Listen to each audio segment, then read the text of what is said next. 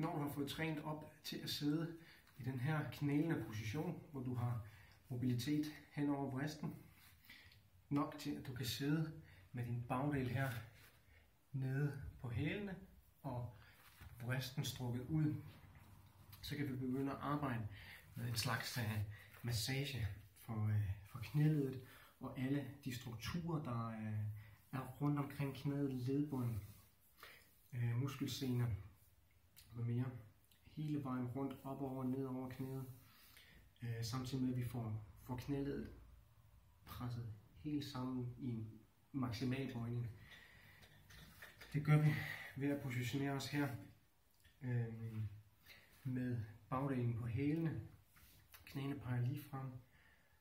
Til at starte med kan du aflaste lidt ved at sætte hænderne i gulvet, og så begynde at lave en vuggende bevægelse herfra fra bækkenet fra side til side. Det vil gøre, at der kommer små rotationsbevægelser her mellem skinneben og lårben, som vil gå ind og massere dit øh, knæled og alt, hvad der, hvad der sidder i forbindelse med det rundt om. Små bevægelser fra side til side. Og så øg bevægeudslag, så du kommer længere og længere over.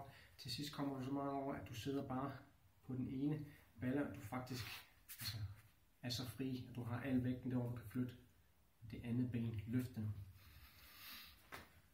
Så arbejd dig fra side til side, og med tiden vil du kunne glide så langt ned, at du faktisk kommer hen over, hen over halen her, og du får din hofte balle ned og rører underlaget og kommer op igen.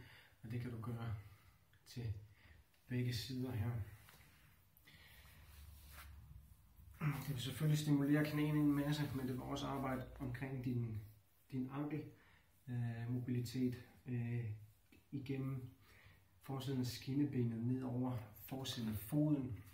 Øh, så der er rigtig, rigtig mange gode fordele ved det her. Øh, og selve, selve skinnebenet vil få en, en massage også af, af det her pres, der er mellem, øh, mellem fra knogle øh, og gulv. Så der sidder musklen imellem her og får øh, det her tryk, som der opstår mellem knogle og gulv. Så din, din muskel får også en, en massage der øh, på forsiden af skinnebenet. Og prøv den her af. Øh, og lad mig høre, hvad du synes om det.